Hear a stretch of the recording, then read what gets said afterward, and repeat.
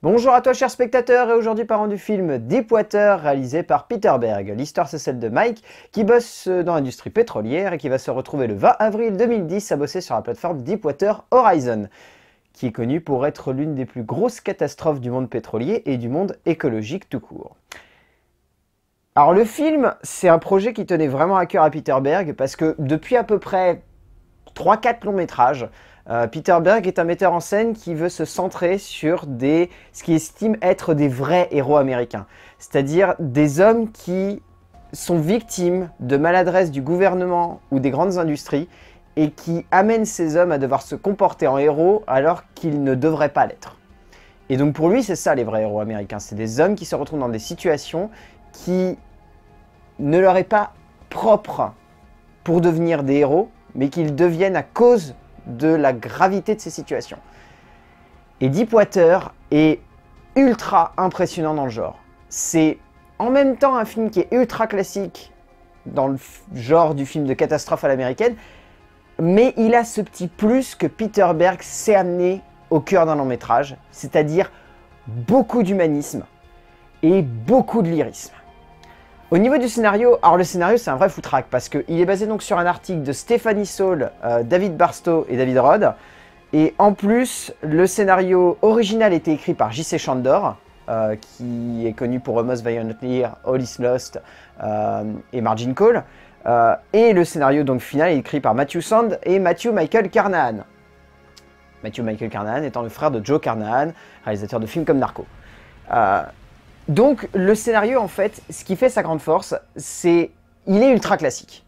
Ça il le sait, il en est conscient et il assume totalement ça.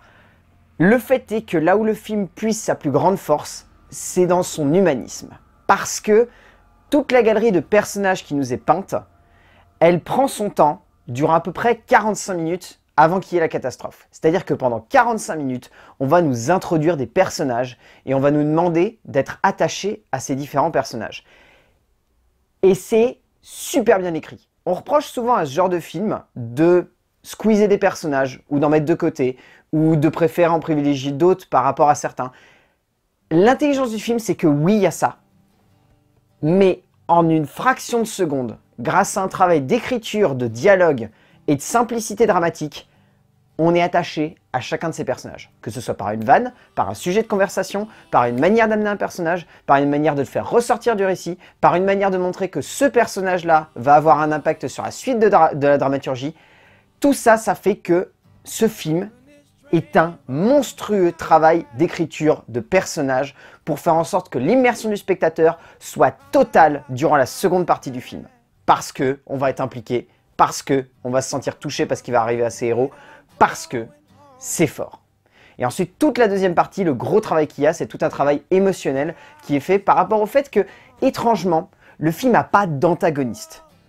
C'est peut-être sa plus grande force, et en même temps, par moments, c'est son côté un petit peu trop classique à l'américaine dans le genre du film catastrophe. C'est-à-dire que dans les films catastrophes, il y a rarement d'antagonistes. Les antagonistes, c'est la nature. Mais là, ce qui est intéressant et qui est développé tout au long du film, c'est que l'antagoniste, on peut le voir dans cette grande plateforme, et finalement, cette plateforme est victime du système elle aussi. La manière avec laquelle Peter Berg, ensuite on va le développer, filme la plateforme, il la filme comme le fatalisme de la société actuelle et de ces grandes industries qui préfèrent laisser ce genre de trucs flamber, brûler et se consumer plutôt que d'essayer d'arrêter ça. Et tout au long de l'écriture, Matthew Michael Carnan et Matthew Sand, ils développent ça. Ils font en sorte que oui, il n'y a pas d'antagoniste, parce que l'antagoniste, c'est le monde extérieur. Le monde extérieur qui veut laisser ses hommes enfermés là-dedans. Et donc ensuite, Peter Bell, par le biais de sa mise en scène, fait en sorte que ce monde extérieur soit mis en relief par le fait que cette plateforme va se consumer et va s'écrouler. Et il y a un gigantisme dans la construction de la scénographie de Berg qui saisit dès les premières secondes.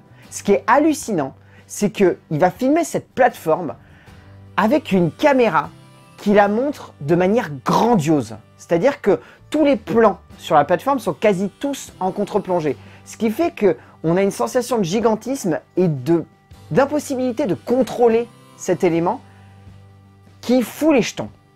Et quand il y a l'explosion, qui est d'ailleurs l'une des explosions les plus impressionnantes de l'histoire du cinéma, elle prend au trip et elle ne nous lâche pas. Enfin, waouh elle est monstrueuse, elle est vraiment monstrueuse. Et Berg la filme avec un réalisme qui est bouleversant. Et ça permet d'avoir un humanisme qui ressort de la caméra de Berg. Parce que on est prêt au trip, parce que on a envie que ces personnages survivent, et pourtant, malheureusement, on se doute qu'ils vont avoir beaucoup du mal.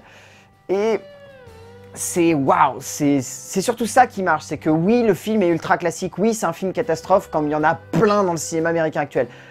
Mais Berg a une manière et une conception de le voir, ce film catastrophe, qui fait que on oublie le côté classique pour voir uniquement l'émotion qui transpire à chaque seconde du long métrage par le biais du regard sur les personnages et surtout par le biais de la construction autour du gigantisme que représente cette, cette plateforme. C'est monstrueux. Et ensuite, il y a un casting qui fonctionne extrêmement bien.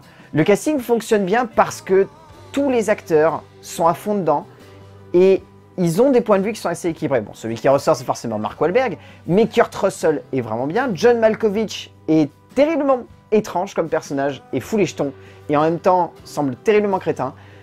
Dylan O'Brien est étrangement surprenant. Il est vraiment bien. Genesis Rodriguez est superbe. Elle est vraiment extrêmement touchante et il y a des scènes où elle, elle est là et on sent qu'elle fait quelque chose. Par contre, Kate Hudson, moyen moyen. Hein. Elle fonctionne pas toutes les scènes et il y a des moments où on trouve qu'elle surjoue un peu.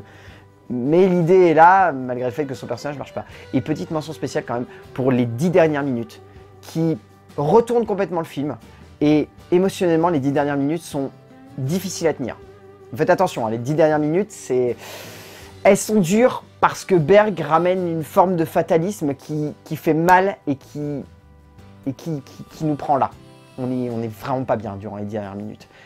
Et au final, Deepwater, c'est une grosse claque parce que à la fois c'est un film classique, très hollywoodienne dans le genre du catastrophe, mais ça fonctionne terriblement bien parce qu'il y a un metteur en scène qui est vraiment impliqué et il y a des scénaristes qui ont su construire une aventure humaine dans un truc qui aurait pu être de l'ordre du gigantisme point mais ils essayent de construire quelque chose à hauteur d'homme. Donc rien que pour ça, je vous conseille d'aller voir Deepwater de Peter Berg. C'est un vrai bon film catastrophe et c'est une jolie surprise dans le genre du cinéma catastrophe hollywoodienne. Vraiment. A plus